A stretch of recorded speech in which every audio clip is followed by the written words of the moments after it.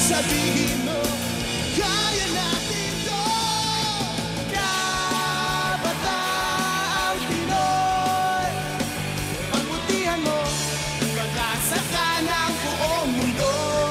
Ang iconic PBB Teen Edition theme song na Kabataang Pinoy na inawit ng grupong Itchy Worms noong 2006, ngayon ginawa ng fresh rendition.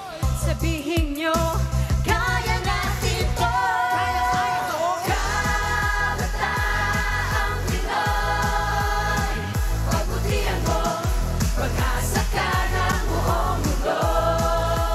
Ito ay sa pagsasani puwersa ng sikat na P-pop groups na BINI at SB19. Kaya-kaya mo, Pinoy ako, Pinoy tayo.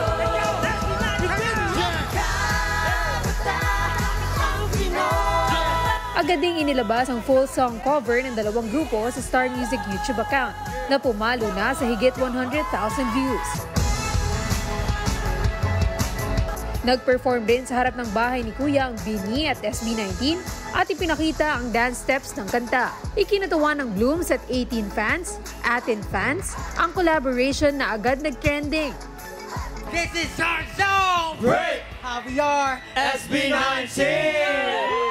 Kaabang-abang din ang pagsasama-sama nila ng mga grupong MNL48 at BGYO sa isang mega concert para sa pinakaunang Pinoy Pop Convention sa June.